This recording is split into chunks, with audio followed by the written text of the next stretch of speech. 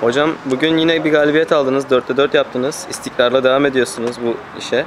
Çok iyisiniz. Bu maçta çok iyi top oynadınız. Çok iyi goller attınız. Ne düşünüyorsunuz bu maç hakkında? Daha önce de söylediğim gibi takımımız ayağa pas yapıyor, kontrollü oynuyor. Top oynamasını biliyoruz. Ee, her geçen maç daha iyi oynuyoruz. Ee, yenilmesi zor bir takımız ama el elden üstündür. Kötü günümüz olmazsak zor yeneriz. Teşekkürler.